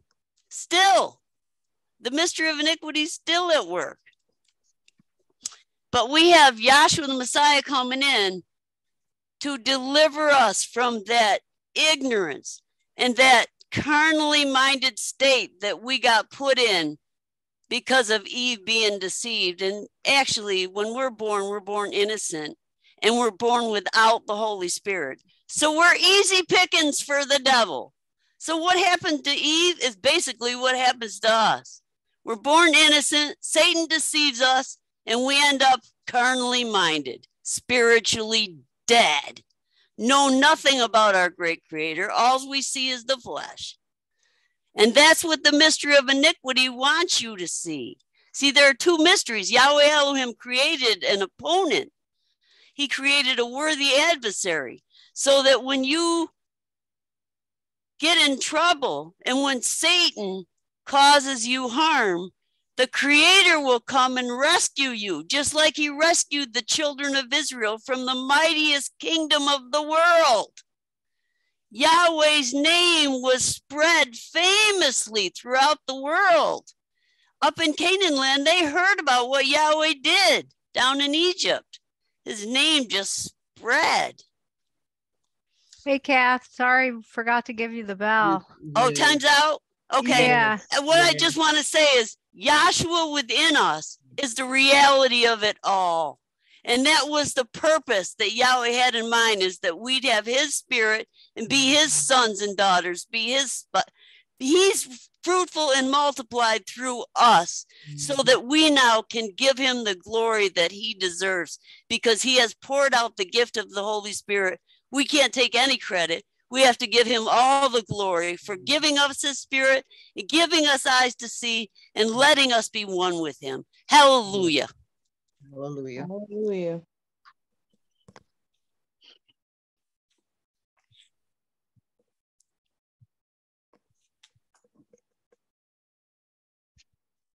All right, that concludes our Wednesday Zoom.